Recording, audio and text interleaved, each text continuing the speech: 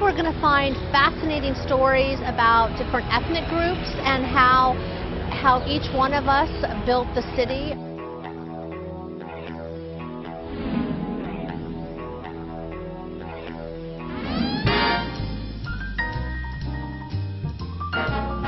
Central Avenue, um, for African Americans, this would be the first place that you would actually come. A place where you could actually meet anyone um, that you were looking for was Central Avenue. It was really a home place where if you were brought to Los Angeles because of the lure of jobs and sunshine and kind of a relaxed racial atmosphere, you knew that Central Avenue had people that looked like you, um, folks that were actually buying homes that had the highest home ownership rates in the country where 36% of the population actually owned homes in Los Angeles. And so this represented economic freedom, racial freedom, a kind of life where you could have um, work in the daytime and entertainment at night where you had everyone from Billie Holiday to Ella Fitzgerald to any major star that you could bump into on Central Avenue and it became the playground of Los Angeles because of all the entertainment and so really became this kind of um, world center when you really think about it for Hollywood and entertainment at night much the same way that Harlem functioned um, during the same time period.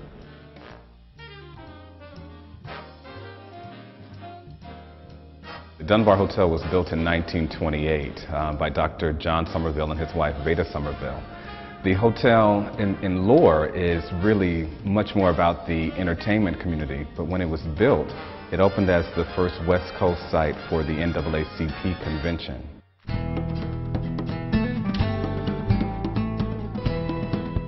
The Ralph Bunche home isn't significant because of its architectural features. It's really significant because Ralph Bunche lived there. He was the first American to win the Nobel Peace Prize in 1950 and the American, one of the Americans to actually found the United Nations. And so it's important to South Los Angeles to recognize a hero, someone who grew up in their midst, went on to UCLA to become the valedictorian, and then went on to such fame as the United Nations and as the Undersecretary, and also winning the Nobel Peace Prize.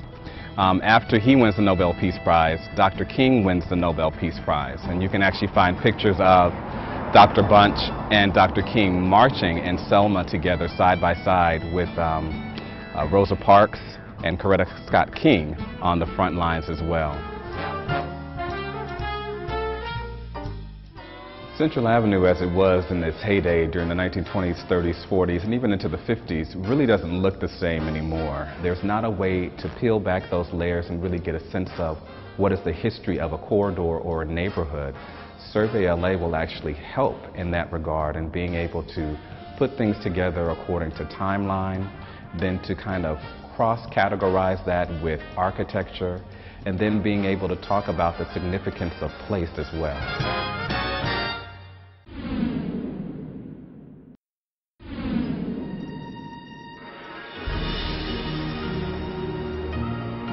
East Cafe has been here since 1923 and they've been operating as a Chinese restaurant since the early 30s. It's the kind of restaurant where my grandfather came to eat here, my father brought me here, uh, I brought my daughter here and I'd like to bring my grandkids if I ever have any to come here. So, you know, there's not many restaurants where you can say we had five generations. And if you said the Far East Cafe, let's go to the Far East, to any Japanese American anywhere in Southern California, they knew where it was, they knew what it was, they knew what the food was, and it just became famous. It became the kind of a social center of the whole community.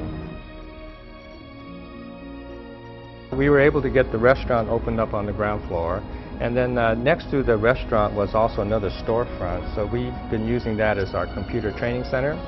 And then upstairs we have uh, 16 units of special needs housing. Now it used to be an old SRO hotel, and it was shut down for many, many years. Uh, but we were able to get a rehab so that uh, now it's used for homeless and mentally ill and special needs uh, handicapped folks. So it provides a, a, service now in the upper floors. We have the computer center on the ground floor plus the, plus the restaurant. So we're hoping that all of that will mix together to keep this building alive.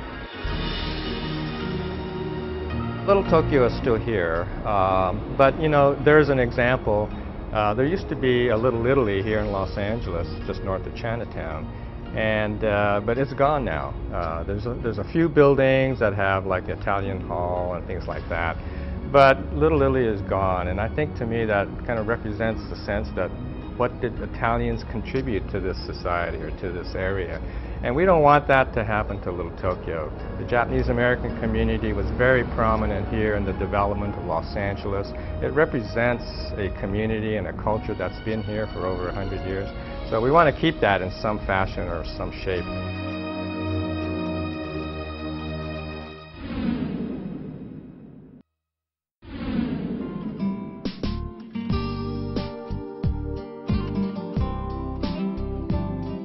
This is a marvelous example of a Episcopal church built in 1888. It is an example of, of the type of material and quality that was built at the time. Still standing today, strong as ever. But just as significant, it's what happened in these walls, what happened in this place. It was a center of much political activity during the 1960s. Cesar Chavez actually stood on this altar, held whole group of sessions to organize people when we had the great grape boycotts of the 60s. The significance of this building and buildings like this is that we are able to share this with our youngsters. Our youngsters are in a place where they are not aware of the value of these buildings. So we are able to share with them the history. That history is knowledge. And that knowledge allows them to understand you know, a stronger sense of of identity, increases their self-esteem, and it raises their conscious level as to where they're at as a community. Instead of it viewing it as a throwaway community that you could just tag and, and destroy, they have a reason to preserve it, to have pride in it.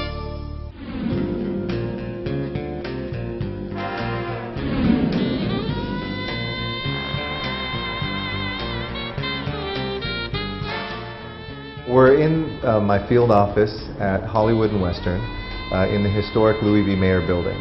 It was built in 1928, the same year that City Hall was constructed, um, by Louis B. Mayer before he joined MGM. And this building has an amazing history. Norma Shearer helped open uh, up the, uh, the building when it first was uh, christened, but then later years it turned into central casting. So literally we are right here, straight out of central casting uh, every day in Hollywood and it was an important intersection near where a lot of the early filming uh, happened in the heart of Hollywood. Having a historic survey will benefit us in, in two ways. One, it will provide us with knowledge, whether it's a tourist who's coming to Los Angeles to see part of our history, or whether it's somebody who's a fourth or fifth generation Angeleno, uh, like myself, wanting to know more about his or her city. It will give us that knowledge, that roadmap, um, and a way to navigate LA um, and understand our past. But secondly, it will also help us preserve that past by flagging those assets that we have.